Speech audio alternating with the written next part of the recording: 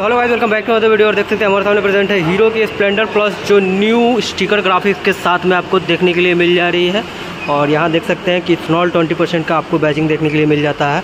तो आज हम लोग बात करने वाले हैं कि न्यू जो स्टिकर ग्राफिक्स के साथ में क्या फीचर्स आपको देखने के लिए मिलती है, इसकी माइलेज क्या है और इसकी ऑन रोड प्राइस क्या आ रही है पटना, बिहार में। तो फुल डिटेल करने वाला हूँ तो वीडियो बने रहा वीडियो अगर पसंद आए तो वीडियो को लाइक कर देना चैनल को सब्सक्राइब कर लेना, इसी तरह की वीडियो देखने के लिए। चलिए वीडियो करते हैं स्टार्ट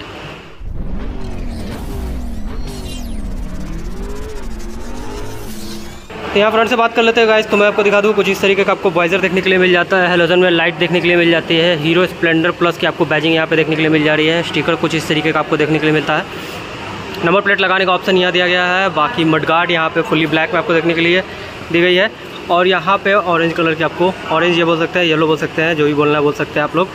ये आपको इंडिकेटर देखने के लिए मिल जाती है, बाकी टेलीस्कोपिक सस्पेंशन आपको देखने के लिए मिल जाता है। फ्रंट में टायर की बात कर लूँ तो अस्सी, सौ अट्ठारह की आपको टायर देखने के लिए मिल जा रही है।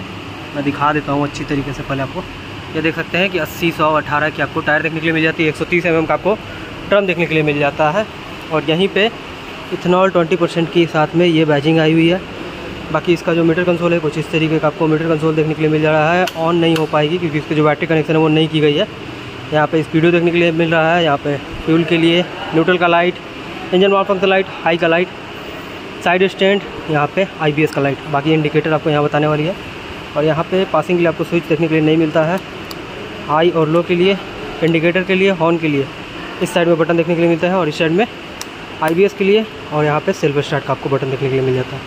बाकी अगर इसकी ग्राफिक्स की बात कर ले तो देख सकते हैं कि हीरो की जो बैजिंग है आपको थ्री में देखने के लिए मिल जा रही है। स्प्लेंडर प्लस की आपको बैजिंग थ्री में देखने के लिए मिल जाती है। स्टिकर ग्राफिक्स कुछ इस तरीके से।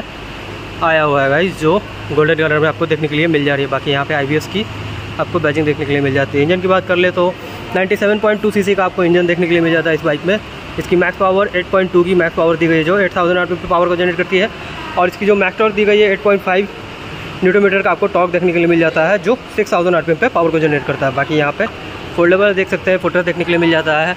हाइड्रोलिक सस्पेंसन आपको रियर में देखने के लिए मिल जाते हैं, जो थ्री स्टेप एडजस्टेबल सस्पेंसन है, बाकी रियर पैनल देख सकते हैं, कुछ इस तरीके का आपको दिया गया है। रियर की मडगार्ड आप लोग देख सकते हैं कि यहाँ पे नंबर प्लेट लगाने का ऑप्शन, यहाँ पे रिफ्लेक्टर आपको देखने के लिए मिल जाता है।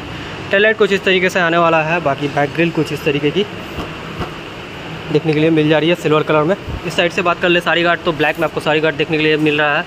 बाकी इंजन देख सकते हैं कि फुली ब्लैक में आपको यहाँ पे देखने के लिए मिल जा रही है। इंजन ब्लैक यहाँ पे देखने के लिए मिल जा रही है, यहाँ पे।